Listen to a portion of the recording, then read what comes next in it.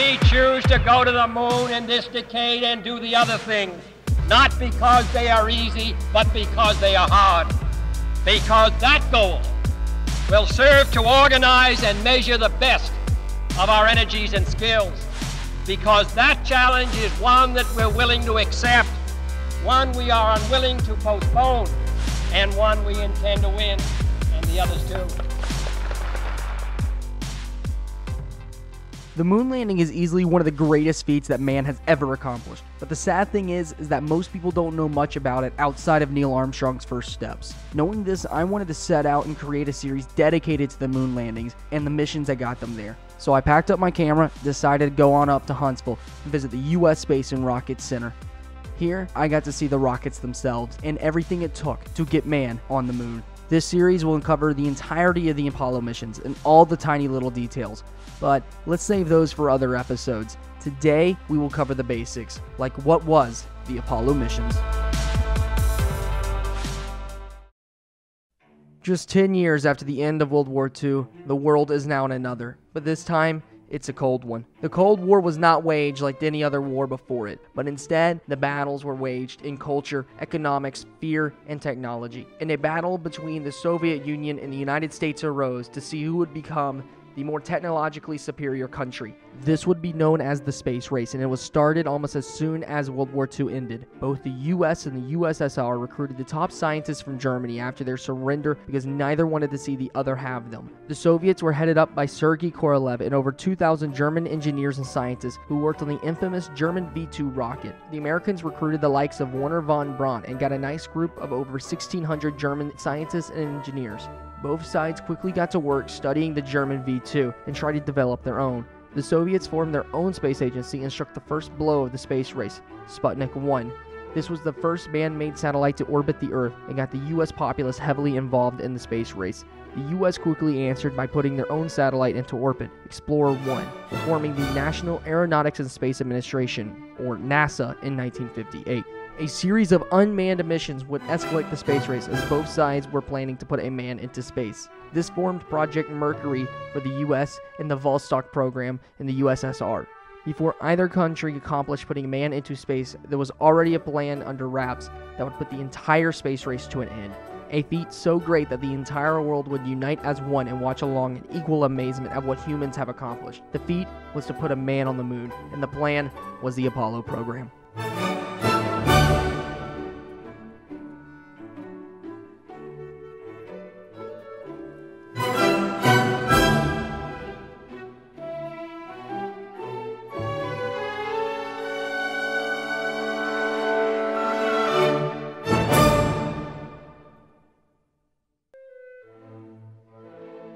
The Apollo program was formally announced in July 1960. Eisenhower wanted Project Mercury to have a follow up that involved three astronauts having the capability to dock in space, orbit the moon, land, and return home. Shortly after, the Apollo program had made great progress in a short amount of time. John F. Kennedy was elected president later that year, and his support of NASA would do wonders into bringing the Apollo program into reality.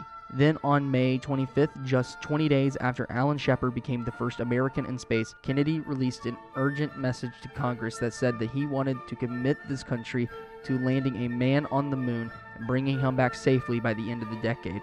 Shortly after that, the workforce for NASA doubled. They opened the Marshall Space Flight Center in 1960, the Johnson Space Center in 1962, and the Kennedy Space Center in 1963. The Apollo team quickly got to work thinking up ways to get to the moon. Four plans were debated on how to get us there. There was the Lunar Surface Rendezvous plan, where two crafts would be sent to the moon, one with fuel to get back and the other with the astronauts.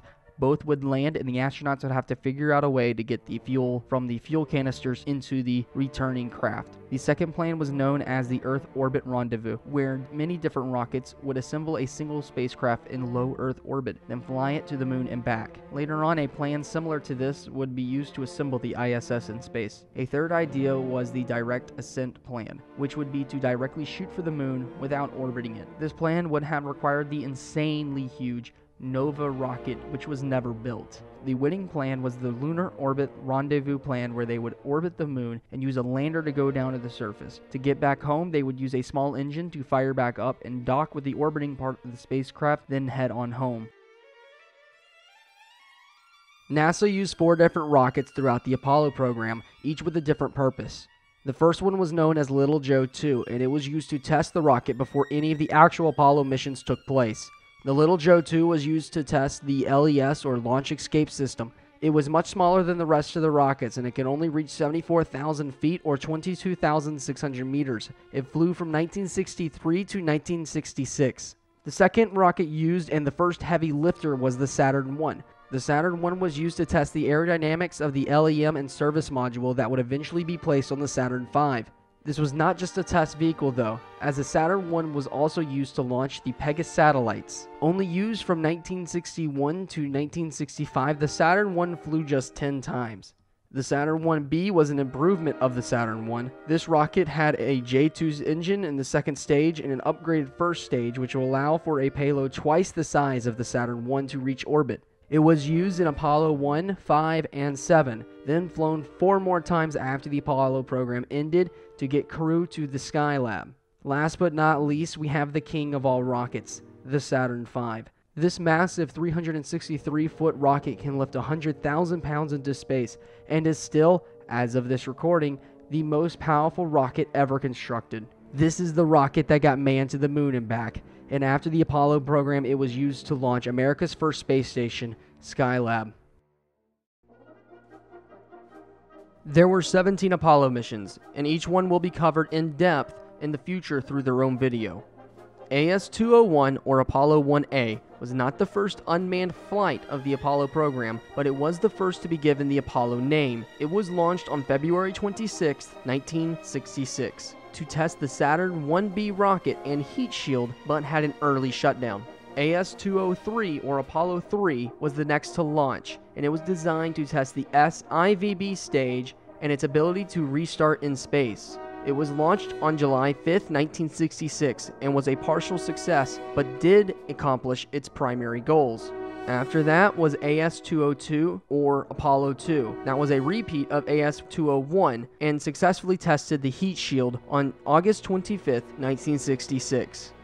NASA seemed like it was ready for its first manned mission. This was planned to test the command module in low Earth orbit for two weeks. It was crewed by space veteran Gus Grissom, pilot Ed White, and pilot Roger B. Chaffee. Tragedy struck on January 27, 1967 as a fire broke out in the command module during a dress rehearsal and killed all three astronauts.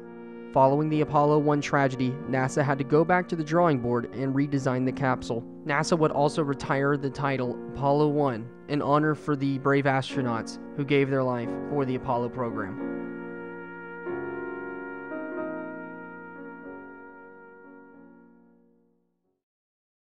Apollo 4 was the first launch of the Saturn V, and it successfully demonstrated the SIVB stage's ability to restart in space. This unmanned mission was launched on November 9, 1967, Next was Apollo 5 on January 22, 1968, and this was the first flight of the Lunar Module, or LEM. It orbited the Earth and tested the LEM in space, including an abort strategy called Fire in the Hole. Apollo 6 was launched on April 4, 1968, and it would demonstrate the translunar injection capability of the Saturn V. Though it did not accomplish this goal due to engine trouble, it did give NASA enough confidence to start their manned flights.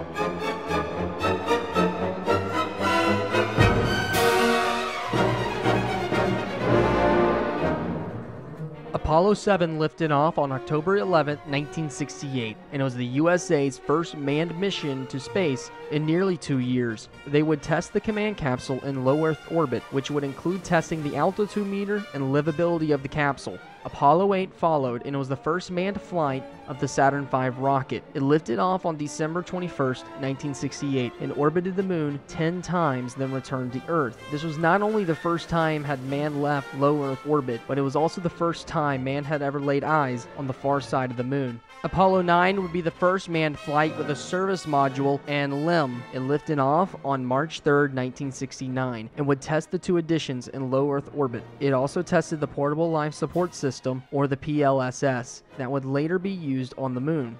The Apollo 10 was launched on May 18, 1969, and it was used as a dress rehearsal for the moon landing. It would come within 15.6 kilometers of the lunar surface but would not land. They would instead test the redocking maneuvers required to get back to Earth from the moon. Then, on the 16th of July, 1969, the world watched as Apollo 11 lifted off from the Kennedy Space Center and carried its three crew members, Neil Armstrong, Buzz Aldrin, and Michael Collins, to the moon. Four days later, on July 20th, 1969, the Eagle landed and Neil Armstrong took his famous steps to become the first man to walk on the moon. On the surface, they collected moon rocks, placed a few scientific instruments on the surface, and tested man's ability to do tasks on the moon.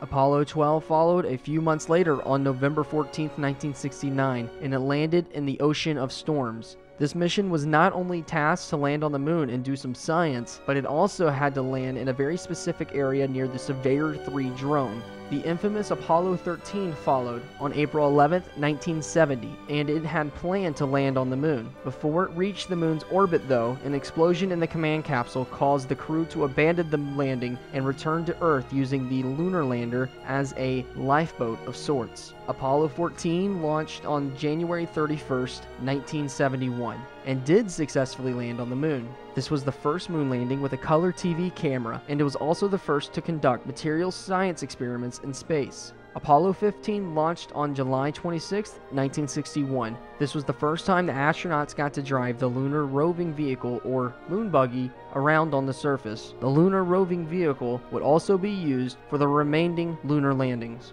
Then Apollo 16 left Earth on April 16, 1971, and would just continue the experiments on the moon. The crew spent a little under three days on the lunar surface before returning home. Finally, on the 7th of December, 1972, the final mission of the Apollo program lifted off. Apollo 17 would reach the moon and spend three days on the surface. This was also the mission that captured the famous photograph Blue Marble 1972. Then, on the 19th of December 1972, the Apollo program ended, with Apollo 17 splashing down in the middle of the South Pacific. This would be the conclusion of an epic era in space exploration.